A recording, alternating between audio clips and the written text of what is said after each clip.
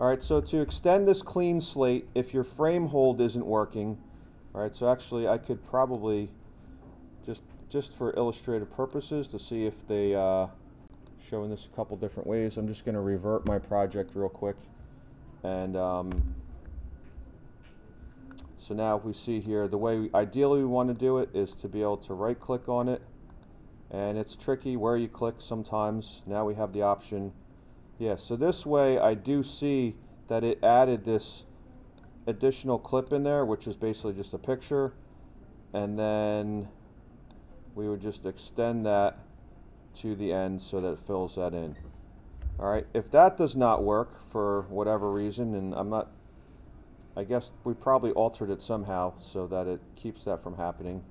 All right, we're going to go to our button editor like we did with the uh, action safe area and we're going to find the little camera in here. All right, so if your frame hold isn't working, click on the button editor, select the camera, and drag it down onto your toolbar here.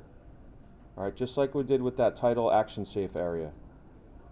All right, then we're going to press that camera button, and it's going to basically export the frame, and you should have that clip selected also. I should have said that before, because otherwise I think it's going to take a picture of something else.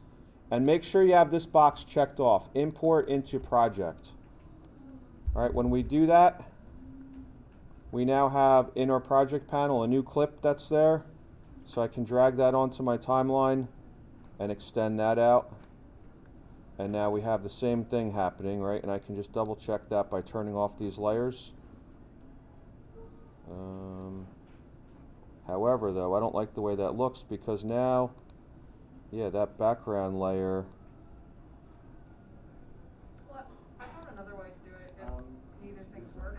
All right, hold on one second. So I just want to get this to work here, and then we'll talk about differences. All right, so now let's see if the camera works here. So I, I hid my other layers, and now I'm going to take that picture, and I'm just going to call this BG so that I know that that's the one. The file type shouldn't matter too much. Alright, so now I have BG. Let's see if that one is correct. Yep, it stays the same. And then, uh, so that's the picture that I want, and I'm going to extend that out. And then I can show my other layers. Save it, because we made some progress. Alright, and now we'll move on. Alright, so if those ways don't work, all right, since this is really just like a still image in a sense, I could take this out and I could see how long this clip actually, so if we're looking at this, it's what? 57 seconds, all right?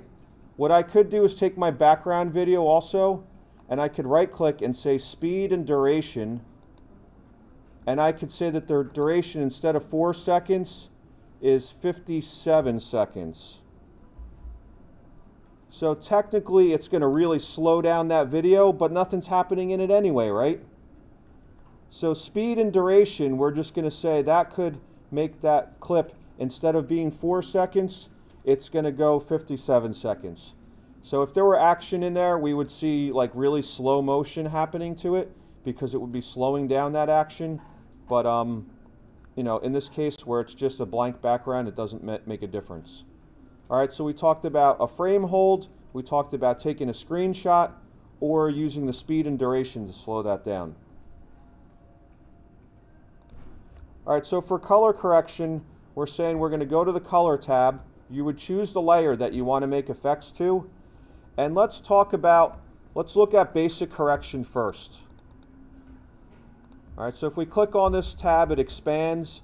And in here, then you can adjust exposure. So you could really make that brighter. Um, you could adjust your shadows. Make that darker in that area. Your whites, your blacks. Um, so that is uh, your, your tone as, as we're looking at there. Let's look also at this creative. Let's see if we can get something happening here. So they have this faded film, sharpening vibra uh, vibrance. Let's like oversaturate our ghost. And let's boost up the saturation on there, or the vibrance. Really make it stand out. Alright, this probably wouldn't be that authentic, but uh, oh, here's what I was looking at before also, I think. This vignetting, that kind of creates a shadow around it. Uh, vignette, V-I-G-N-E-E-T-E, it's the last one. Alright, so let's just make that layer kind of stand out a little bit more. Um, if we really wanted to make this, I think, work properly, we would probably like record this in the green screen or something, or we could make what's called a mask around the character here, the ghost, which I think if I, I'm not going to go into that too much, but we would try to make like a, a, a selection area around the character, and then that effects would apply a little bit better. Alright, so really just kind of blow out the proportions so that you can see that and, um, and then we'll go on to graphics next. So at the beginning of most videos we have titles, right? So I'm going to um, going to move my playhead to the beginning of our timeline because that's where we want that to go in. And then, hi. So some of your students for the ID pics have masks on and their eyes closed. Okay, so we're going to go, we're going to start by going to the graphics tab on the top. All right, so as you see, we're going through these different tabs at different points of the project. So right now we've done assembling, we've done editing, we've done color, we've talked about effects. Actually, captions is new. I'll have to look at that a little bit.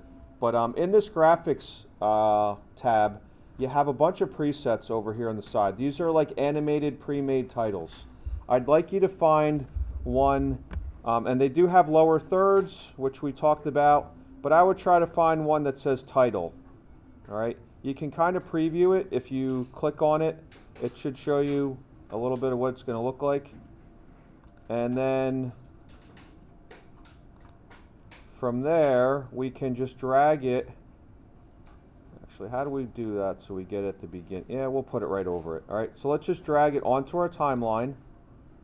So I took this angled title, I dragged it to my timeline, and then all we're going to do from that point is just double click on it and then we can add our title to it. So we would say, let's call this Ghost Scene Demo. Alright, you can find a different title if you want a different one, but just drag it over to the top. And then if we scrub through or press the play button, we see that nice title applied to it that's animated.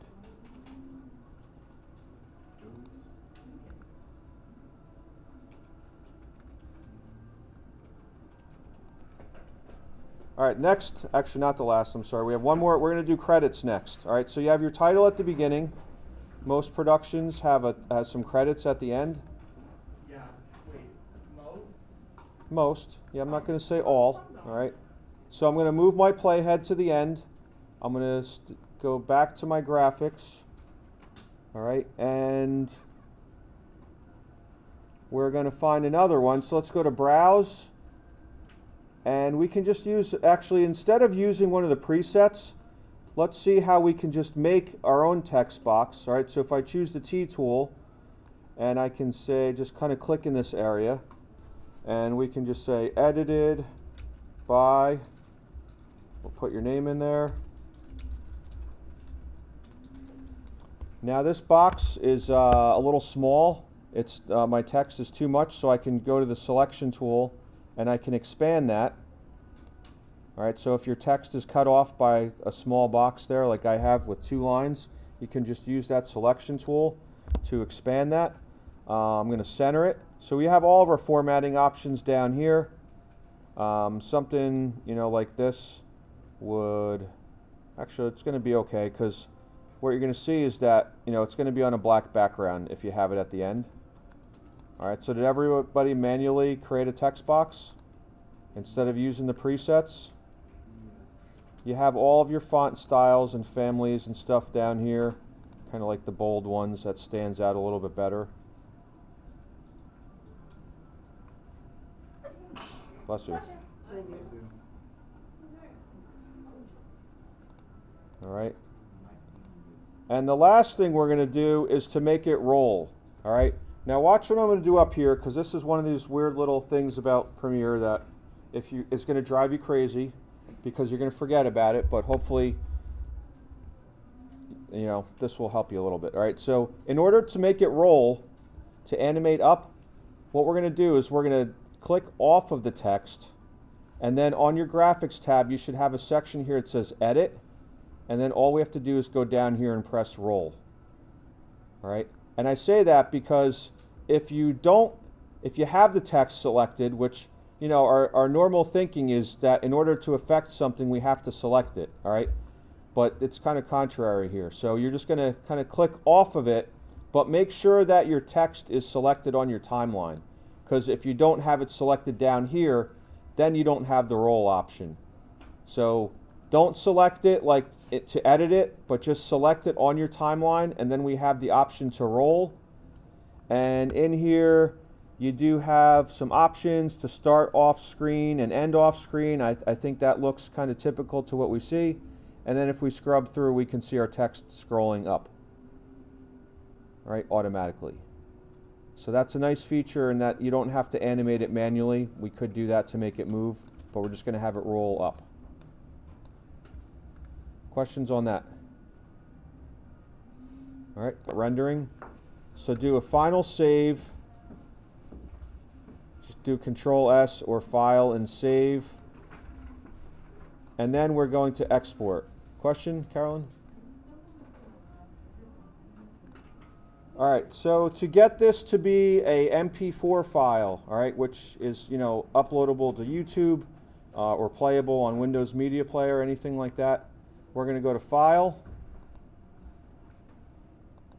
Export. Oh. I want to select Media, but notice it's grayed out here. The reason that is is probably because I'm not, I have to just click somewhere in my timeline, all right? Now I select the timeline, it kind of highlights in blue. So if you ever have that issue going on where you go to export and media is grayed out, that's probably what it is. All right, so with that said, I'm going to go to export media and then we'll have a pop-up that gives us some export settings. All right, in here, um, we're going to change format, should be H.264. We talked about in our vocabulary about codecs. Wait, Blu-ray, Blu-ray or normal? Normal. All right. So we're going to make sure our format is H.264. You can see here there are a lot of formats. Um, bitmap would just be to make a, a, a, series of pictures, which I've had students do that before. They for, like have bitmap or JPEG, and depending on how many frames you have, it's going to make that many pictures. I hit export and then media and nothing happened.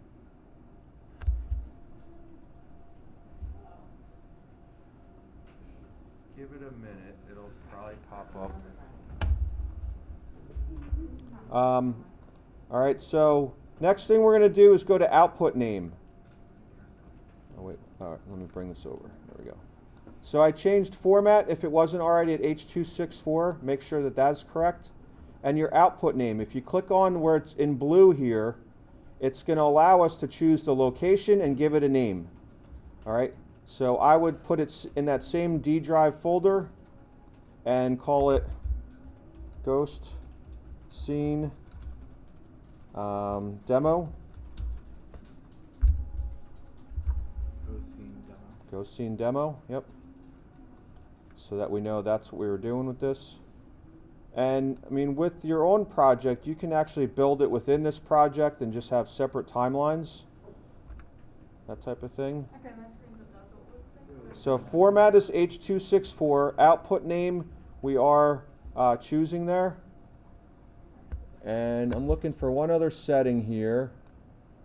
All right, so on the bottom, my screen is a little smaller. Let me just resize this over here, I think.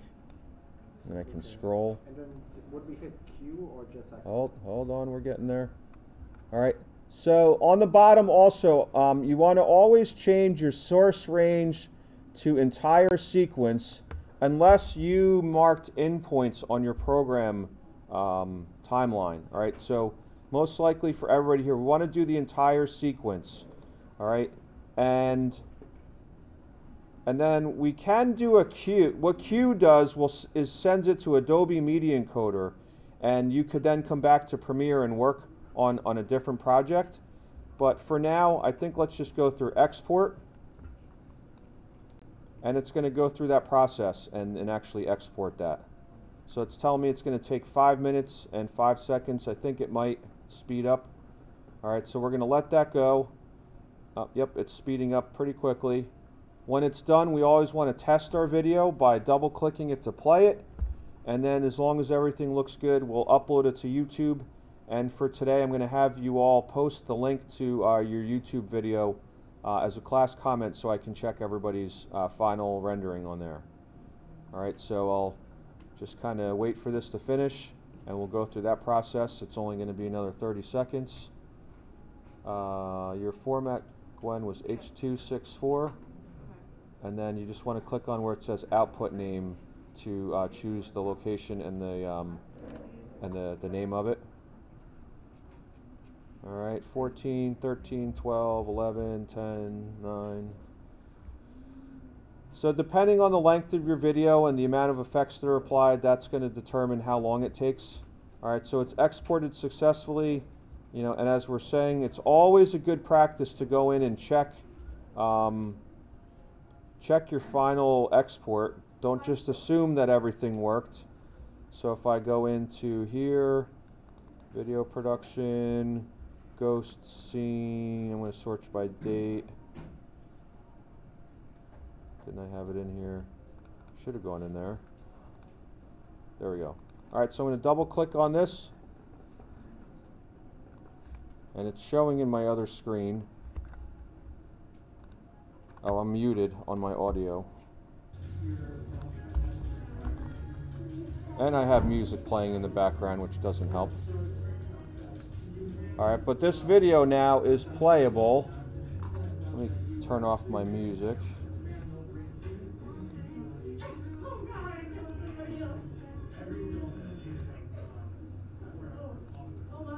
Alright, so this is what you should be doing to test it. You just double click it and it'll open in the uh, media player just to make sure you have your title. You know, you should have your ghosting of there and our credits. All right, so that looks good. And then the last thing we're going to do, as mentioned, is to then upload this to YouTube so that we can share it, you know, on whatever platforms or, you know, to wherever we want. You can go, you know, to your social media and stuff from there. So I'm going to minimize Premiere. Going to kind of just get this on one window here. And then I will go to YouTube. So in your apps uh, thing, you should have it there as a, a shortcut. And then all we're going to do is press upload. And it will allow us to select the file, which I could have dragged also in. So probably the easier way, and that's why I was opening that window. So I can just drag, oop.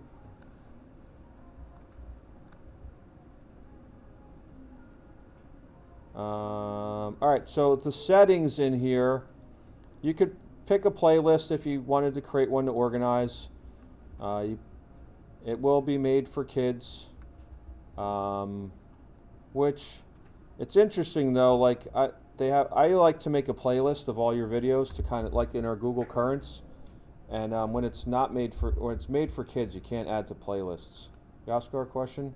They can make it for kids and nobody can comment on it. Hmm. And nobody will save it in their playlist if they.